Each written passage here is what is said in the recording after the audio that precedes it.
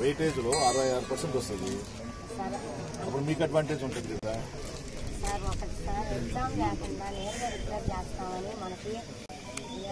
ఉగాది లోపల మీకు ఇల్లు కొత్త ఇల్లు సైట్ కూడా కేటాయింపు జరుగుతుంది.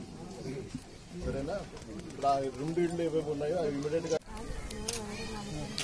అమరావతి ఏం చెప్పినా మేము అమరావతిలోనే కొనసాగుతాం ఆయన చెప్పిన మాట ఏంటంటే మున్సిపల్ మినిస్టర్ గారు నీళ్ళు ఈ విధంగా వచ్చాయి కదా మరి ఆ రోజు వాళ్ళు ఆలోచించి చేయాలి కదా అని ఆయన కమెంట్ చేశాడు ఒక మున్సిపల్ మా- మంత్రిగా.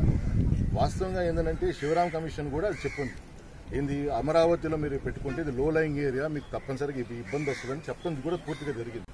చెప్పినప్పటికీ కూడా వాళ్ళు పెట్టారు కాబట్టి ఆయన కమెంట్ చేశాడు అది. అట్టని చెప్పి మేము ఎక్కడికి తీసుకోబడతాం లేదండి కమెంట్ చేసేటంలో దాంట్లో తప్పేం లేదు. ఎవరైనా అధికారం మొన్నే కదా వెళ్ళిపోయింది. చాలా ఇబ్బందులు బాధపడుతున్నారు కాబట్టి మేము ఏది చేసినా కూడా మంచి చేయొచ్చు. ఏదైనా చేస్తే కూడా ఆయనకి అది ఒక ఆయన ఆయన కళ్ళల్లో మాత్రం అది విషయంగా కనబడుతుంటుంది.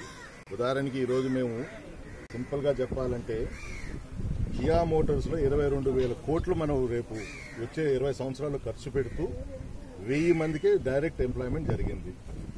రాష్ట్ర ప్రభుత్వం జగన్మోహన్ రెడ్డి గారు ముఖ్యమంత్రి అయిన వెంటనే నాలుగు లక్షల వాలంటీర్ జాబ్లు అలాగే లక్ష.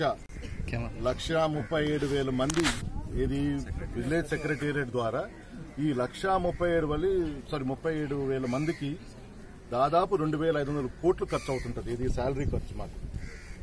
మీరు రెండు వేల ఐదు వందల కోట్లకి మనం దాదాపు క్రియేటెడ్ ఎంప్లాయ్మెంట్ ఫర్ లక్ష ముప్పై ఏడు వేల మందికి. పన్నెండు వందల కోట్లు కియా మోటార్స్కి ఇచ్చి వెయ్యి మందికి ఇచ్చాం. ఈ క్యాలిక్యులేషన్లో ఏది బాగుందో మీరే తెలుసు